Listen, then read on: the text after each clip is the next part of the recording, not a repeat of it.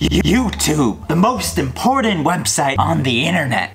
For an hour this week, it was down and not working, and every single YouTuber and their mom was freaking out. You had people like Mr. Beast on Twitter being like, I need to go to college. Animators being like, I need to get a real job. Everyone pretty much knew YouTube was gonna come back up, but to this day, we still don't know why YouTube was down. Except I do. Just kidding. But there are some theories, which I'm gonna share with you in this video. Enjoy.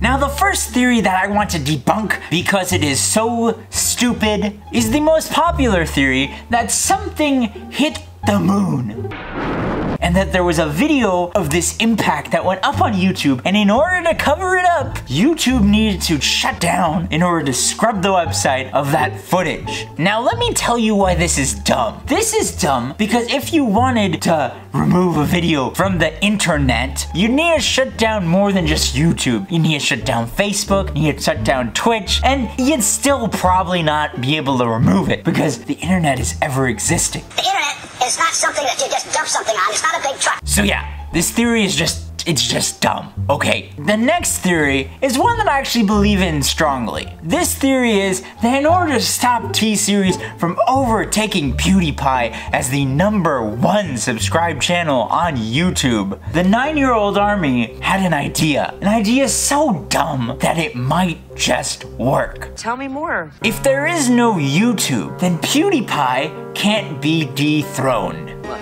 God, It's quite genius. Except it's not. Next theory! So in recent years, Twitter has become pretty dead in comparison to what it used to be. Hey, irrelevant. So in order to boost the active users, Twitter HQ came up with an idea. An idea so insane that it just might work. Heard that before. They coordinated an attack to take down YouTube so that people would have no other choice but to go to Twitter and tweet about it, thereby increasing Twitter's active users. That's genius. And this worked for about an hour. That was probably the most active hour that Twitter has had in years. That's stupid. So this theory is also pretty stupid. So I bring you to my next theory. Let me ask you something. Who doesn't like YouTube, the cable companies. So in an attempt to stay relevant, the cable companies tried to take down YouTube so that people would go back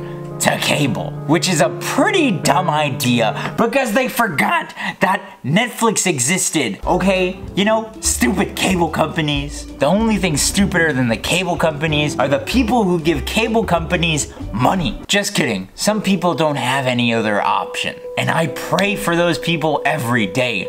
May you be blessed with good internet. Anyway, now the last theory that I have for why YouTube went down, it's a juicy one. YouTube was trying to help its creators and solve the demonetization crisis. They had a theory, which was if there is no content, then there's nothing to demonetize and people won't get mad. Brilliant. I mean, it's the perfect plan when you think about it, right? I mean, no YouTube, no ads, no demonet. No! Okay, this is this is stupid. If you can't tell, all these theories have been jokes. Pretty bad jokes, okay? In more serious news, Pew, pew, pew, pew. What is likely to have happened is that there was probably some problem with the back-end addressing system that YouTube uses with its CDN, which had something to do with the updates that ICANN is doing to the global DNS. Or maybe some Google employee got really mad that somebody disliked his video, the nerve, so he just decided to burn the whole mother down. Anyway, I've been ridiculous enough for this video. Let me know if you have a theory in the comments below. And as always, never share your password. Don't do it.